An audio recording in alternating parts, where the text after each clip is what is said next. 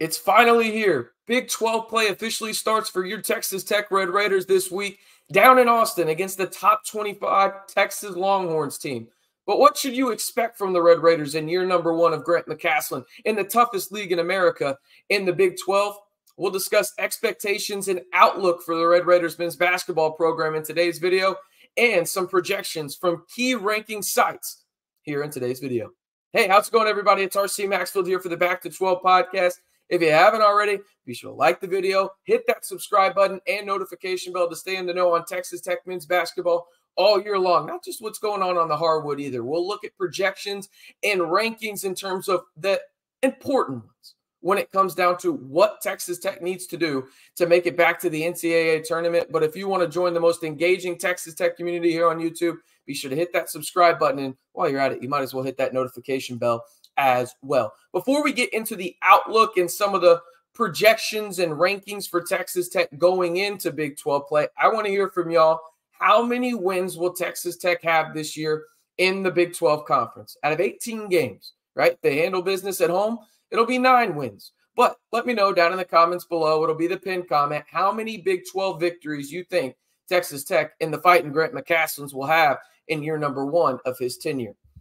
All right, let's talk about the outlook for the Red Raiders and kind of what they've done already, um, in a sense, going into Big 12 play, because that is important to know. The Red Raiders are currently on a six game winning streak after their win on New Year's Day against the North Alabama Lions by a score of 85 to 67. Pop Isaacs led them in scoring in that matchup with 21 points. And Warren Washington had arguably his best all around game as a college basketball player. He had 10 points, six rebounds, five assists, and four blocks. That'll play. I don't care who you're playing. Okay. The big thing for Texas Tech is they're starting to heat up from deep. This was another game where, as a team, they shot at least 40% from three. And if you look at this, Texas Tech has done a really good job of ball movement, spacing, and really just capitalizing on a lot of good looks from behind the arc. Because as we know, that's really going to have to be one of their strengths moving forward.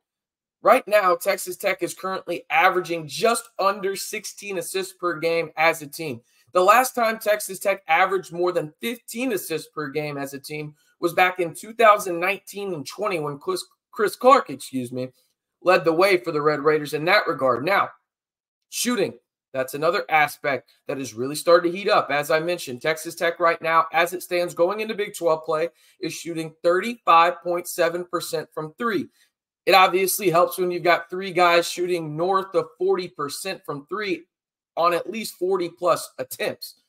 Those are Darrion Williams, Kerwin Walton, and then you got Chance McMillan. And oh, by the way, over his past four games, Pop Isaacs going into Big 12 play is shooting 42% from three that'll play as well. So when you look at everything right now in terms of where Texas Tech currently stands going in to the Big 12, I've said it a lot. I've already said it in this video a couple times. Shooting will be key, but I like their chances a lot more than I did coming into the year for the sheer fact of the way that Grant McCasland and his staff have gotten creative with, you know, double screens, double stagger screens, whatever it may be in terms of getting shooters open, whether that's Chance McMillan off of a couple of screens, Kerwin Walton off the catch and shoot, Pop Isaacs off the pick and roll, whoever it may be.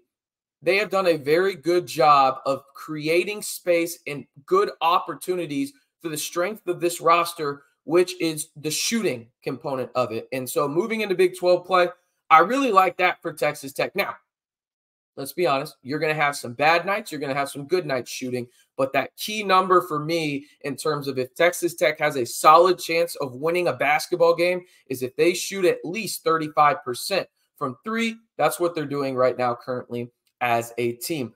All right, let's see here. I, I, I think you guys are going to want to like the video because I know this for a fact. You're excited to have Big 12 basketball back. I mean, this is the best conference in America. I know I'm excited to have it back. If you are as well, be sure to like the video right now. All right, let's kind of look at the outlook here for Texas Tech because I think it's interesting going into Big 12 play, kind of laying the land for Texas Tech men's basketball as they were picked to finish eighth in the preseason. Big 12 men's basketball poll. The team that surprised the most people so far has been BYU. I mean, they were picked to finish second to last.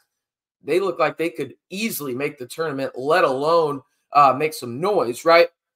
But ESPN bracketology has Texas Tech as it stands right now as a first four out team heading into Big 12 play. I think that's probably fair to be expected. Really, you haven't played really much of anybody um, outside of the Bahamas tournament and then Vanderbilt, but really the teams that you played outside of Villanova, not really that all impressive. And Villanova can't beat a a D1 team from the state of Pennsylvania. It's weird, I know, but it's the truth. All right, looking at it though, KenPom right now going into Big 12 play has Texas Tech as the 37th best team in the country, ninth best team in the Big 12. Again, best conference in America. It's not close. Then you got Haslametrics. They have the Red Raiders at 39, eighth in the Big 12. And then you've got net rankings. They have Texas Tech just in the top 50, 49th overall in the 10th best team in the Big 12. Want to give a shout out to Ryan Mainville over at Gambling Gauchos for posting this on Twitter yesterday. Great follow at Ryan Mainville over on Twitter for all things Texas Tech hoops. KenPom currently projects Texas Tech to finish 9 and 9 in conference. I'm telling you right now, if that projection happens, Texas Tech is in the NCAA tournament. I truly believe if Texas Tech wins seven games in the Big 12, they are in the tournament the Big 12 has a quad one win, what feels like you have multiple opportunities every week, let alone just in conference play. So, setting yourself up for success and handling business at home is going to be pivotal for Texas Tech because I mentioned it earlier in the video. You got nine home games. If you win seven at home and then just sprinkle in a road win or two, maybe at UCF, you're in the tournament. I think it's really that easy for Texas Tech this year in terms of when I say easy, looking at the schedule. Obviously, not easy in the sense of winning the games on the floor because each and every night you are facing a potential tournament team outside of maybe three in the entire league. So you have the opportunity, if you're Texas Tech, going in here and really helping your odds of making the tournament with the net ranking. And that's something that the committee looks at, like it or not. It's one of the big metrics they look at. Right now, you're a top 50 team, 10th in the Big 12. Does the Big 12 get 10 teams in?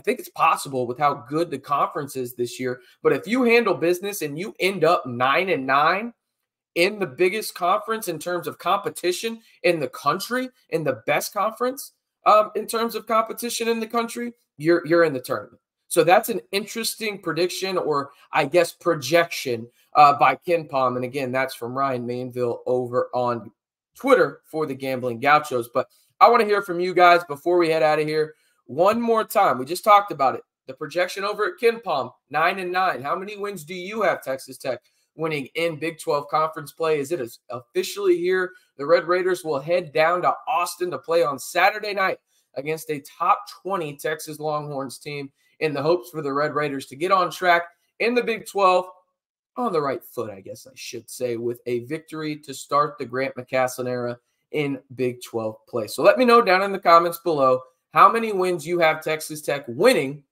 in the Big 12 this season. And one more time, if you haven't already, be sure to like the video, hit that subscribe button, and turn on that notification bell to stay in the know on Texas Tech men's basketball all year long. We'll have a preview out on the channel tomorrow for Texas Tech against a top 20 Texas Longhorns team.